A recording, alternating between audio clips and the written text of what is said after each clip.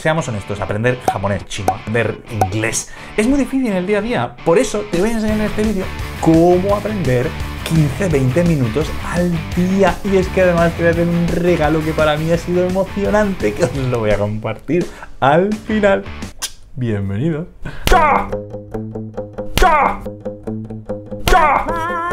Si no me conoces y estás por primera vez, no te asustes, soy un poco intenso, pero comparto lo mejor de lo mejor para ti. Pues bien, para aprender un idioma, una de las primeras cosas que a mí me viene a la mente y que más dificultosa es encontrar, yo qué sé, un recurso que tenga eh, diálogos, historias, pero además te ayude con la pronunciación y además tenga algunos ejercicios para hacer y venga con audio. Y es que, pues ese recurso, queridos amigos, existe y se llama Asimil.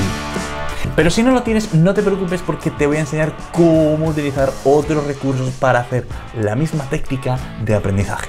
Si estas cosas te emocionan como a mí, venga, dale like, que, que esto es, estoy intenso, estoy intenso. Tienes que salir de aquí con ganas de aprender un idioma. ¿eh?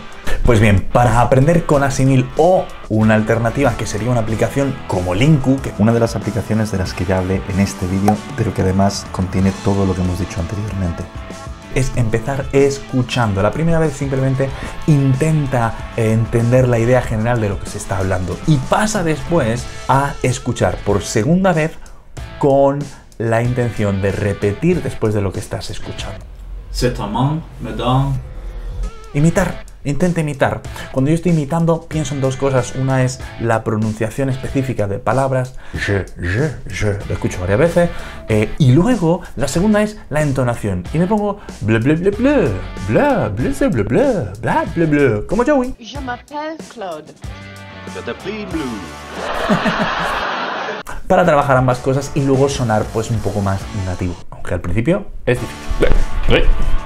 Lo segundo que tienes que entender Oye, oye, ah, eso es por si te quieres unir al Telegram y ahí charlamos más a fondo. Bueno, pues lo segundo que vas a hacer, pues obviamente ya es pasar a la lectura. Ya hemos escuchado, nos hemos familiarizado con la idea general quizás, o hemos familiarizado un poco el oído al sonido. Ahora vamos a leer, pero con la escucha. Vamos a hacer las dos cosas a la vez y vamos a empezar a asociar lo escrito con lo escuchado.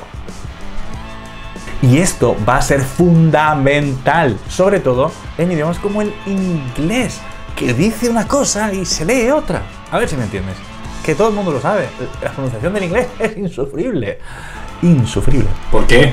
Pues porque el inglés no lo pronuncia nadie como se escribe. Se escribe una cosa, se dice otra. Al ri. Quieres decir, alright. Bien, pasemos al tercer punto. Lo siguiente que haces entonces es básicamente pararte a prestar atención al significado de las palabras. No mires a la derecha, no mires el significado tan rápido. Intenta averiguarlo. El cerebro tiene una capacidad de hacer conexiones por el contexto, pero es una habilidad que se tiene que trabajar. Y una vez lo has hecho y has intentado entender y has leído el texto, puedes repasarlo y empezar a contrastar con tu idioma natal, español. Se me olvidó decir que en este apartado es cuando también revisas la pronunciación, por supuesto. Y lo último que te recomiendo, que para mí es muy útil, es escribir algo de lo que he estado aprendiendo. Intentar expresar ideas con el contenido que ya tengo. Obviamente, si estás en las primeras etapas, no vale la pena invertir tiempo en esto porque no tienes nada para dar. Y el regalo que te quería hacer es un descubrimiento que he tenido que me ha parecido muy, muy, muy, muy positivo.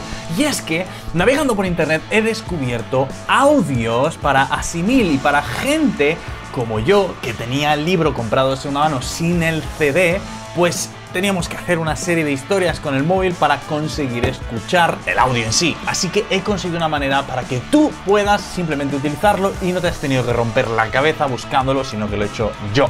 Está en el enlace que puedes encontrar en la descripción y además también en el comentario fijado.